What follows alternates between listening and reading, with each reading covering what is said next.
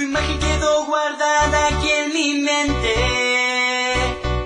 Tus ojos, tu sonrisa, tu olor, tu manera de verme.